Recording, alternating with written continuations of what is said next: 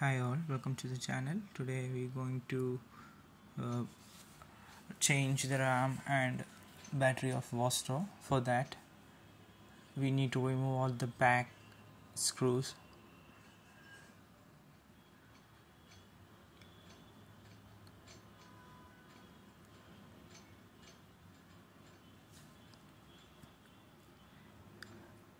Screws only back side back panel we need to open then we can access whole motherboard. So it's very easy and uh, it's uh, very time convenient. Once we remove all the screws open the back panel like this.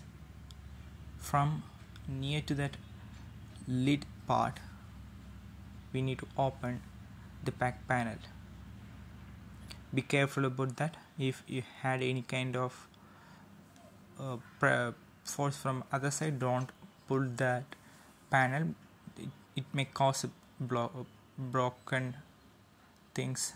So be careful about that. Once you remove we can see the battery.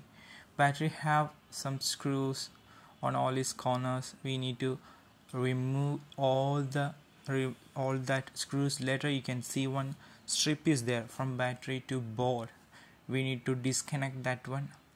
That is the main thing. We make sure that that connection between the board and the battery is disconnected. Okay once you disconnected things here's a strip. Okay um, uh, I'm using the strip for the other battery because the new battery does not have that strip so we need to take the strip from all battery itself.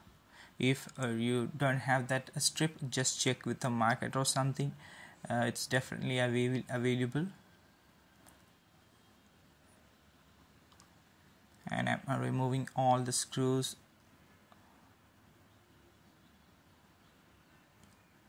Later uh, just need to pull up that battery. We can uh, now see there is uh, have this is my new battery and I'm gonna put this.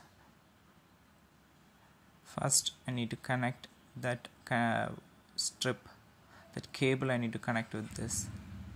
So for one end I connected with the battery.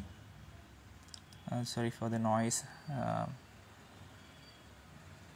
so yeah, it's done. And I'm placing the battery like before make make sure that uh, all the screws both are correct then the position will be automatically correct. Now I'm connecting the strip with the board. Don't forget to connect the strip then only new battery going to work. Once it's done we need to screw all the side.